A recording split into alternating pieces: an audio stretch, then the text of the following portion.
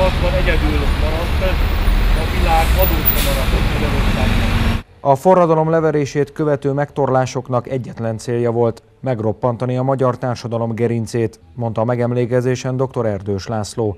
Tömegesek voltak az internálások, a bebörtönzések, a kínvallatások, a magyarok azonban nem törtek meg, még akkor sem, ha az életük került veszélybe.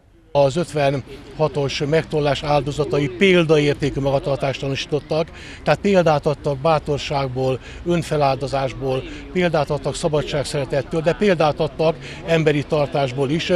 Őket a kádári hatalom semmiféle brutalitással, semmiféle kínzatással nem tudta megtörni. Ők egyenes gerincsel állták ezeket a csapásokat. Ma sem csorbulhat az az elszántság, amelyel a magyarok identitásukhoz ragaszkodtak hat évtizeddel ezelőtt, hangzott el a rendezvényen. Az 56-os szabadságharcosok kivégzésük előtti utolsó pillanatban is azt kiáltották, hogy éljen Magyarország, tehát nekünk az ő szándékukhoz szűen a mai napon azt kell keresnünk, arra kell választ kapnunk, hogy mit, mi a mi dolgunk, mi a mi feladatunk, hogy éljen Magyarország.